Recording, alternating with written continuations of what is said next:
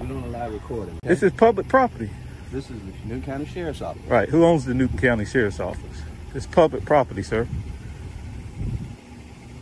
This is public property. There's no crime against recording in public. It's public property. So first, actually, it's a First Amendment right.